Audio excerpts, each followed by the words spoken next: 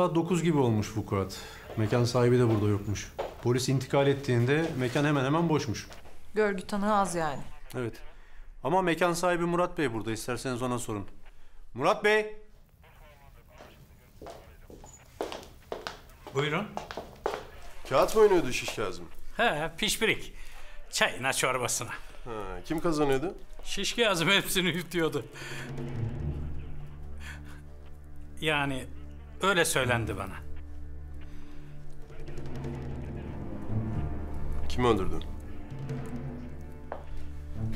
Sen az önce bana ben yokum demedin mi?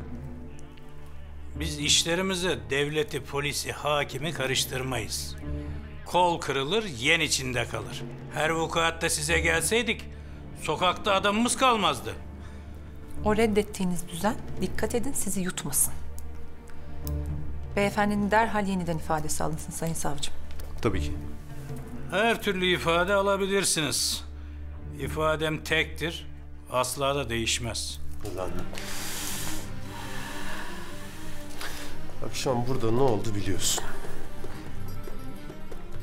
Biliyorsun ama susuyorsun. Hikmet, avukatı ara. Ara da gelsin. Salih Bey. Gidelim.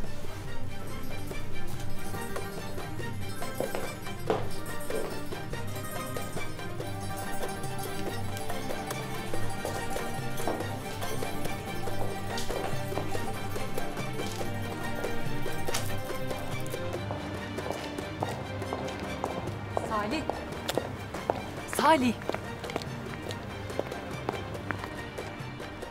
Bazen öyle bir bakıyorsun ki ben bile korkuyorum gözlerinden. Adam yalan söylüyor bir de üste çıkıyor. Şerefsiz. Tamam, sayende anladık yalan söylediğini. Ama ben olmasaydım ne yapacaktın? Adamın üzerine mi çullanacaktın? Gırtlağını basıp mı konuşturacağız? Allah Allah.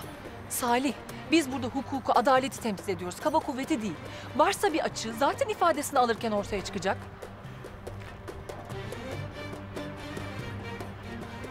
Bak gene öyle bakıyorsun.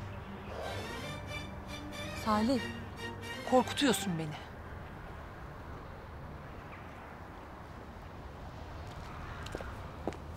Memur bey. Burası derhal mühürlensin. İçeride kumar oynatılıyor. Ayrıca savcı beyle konuşacağım. Hemen yeni bir soruşturma başlatsın. Emredersiniz hakim hanım. İyi görevler. Sağ olun.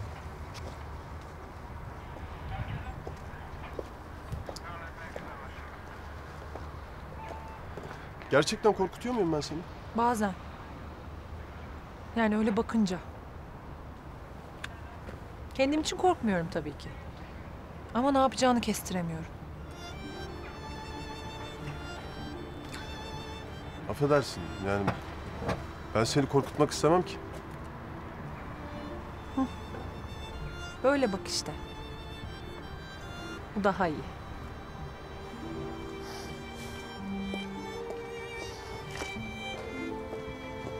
İnsan da hep böyle bakamaz ki.